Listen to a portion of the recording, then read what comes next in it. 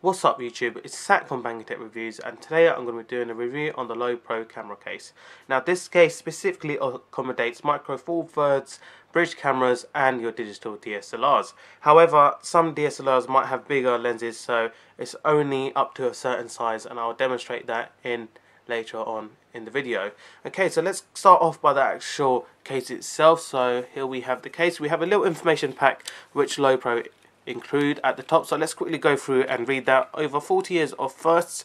So we have a look. As you can see, a little bit of information. So just saying how they experienced in camera cases and we have the same images over and over again in different languages then we have other sort of options of what other products they offer okay enough of that so let's quickly put that to one side at the top portion of the case we have a nice handle um, the good thing about it is you know it's quite strong and sturdy so if you have a heavy camera it will it will keep its place and it won't tear off like normal ones do if you buy a cheap quality product.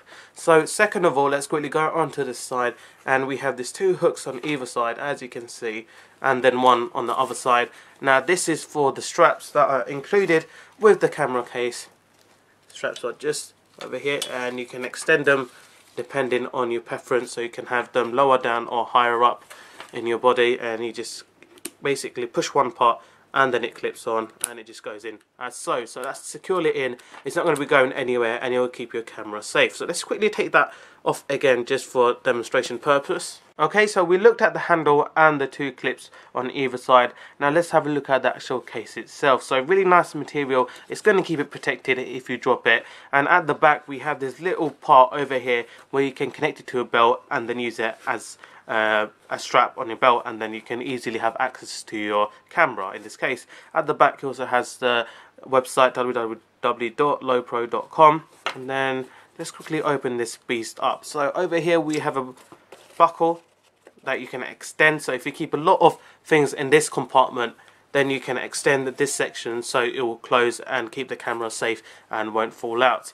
Inside we have this really nice padding as you can see. This is a portion where your digital SLR bridge camera or compact system will go in. So really nice padding on either side to provide protection and then it's really nice material inside and on the top part we have a little bit more headroom so it will fit in quite nicely and then we have that lock for the other section now we discussed the back part, let's quickly go into the side. Now this is quite neat. This part basically you can unstrap it and then this part comes out which is one of my favourite parts of this case. So as you can see it's showing a sign to pull it out. You pull it out and then it reveals a little compartment. Now this compartment can be used for anything like storing your SD card, storing your I guess you can also store a slim um, adapter for your tripod. So they can go in there or you can store multiple I'm guessing easily six will fit in there. And then you can um, store such as your remote control as well. So if you just pop that back in once you've finished using that compartment up you just close it back in as so. Fits in easily again. And then you pop that section in there and then strap it back in place. And that's not going to be coming out anytime soon okay guys so overall this was my review of the Lowepro camera case and I'll just quickly finish it off by showing you how a camera fits inside it. So this is my Lumix G3 camera as you can see. It's not the biggest camera in the world but it does have um, a decent sized lens on it 14 to 42 millimeter and then you put that in there as you can see I have plenty of room got about inch or two room in there and then you just put all the straps inside and then close it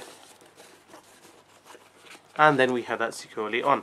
So as you can see the camera is inside now and then we've got plenty of room to keep more accessories at the front in this compartment and then on the side mentioned and we've got plenty of headroom so the camera would get damaged. Guys, so that was a quick review of the Lowepro camera case. I hope you enjoyed the review. If you have any questions, then leave them in the comment section below. And as always, guys, please don't forget to leave a like, comment, and subscribe. Take care.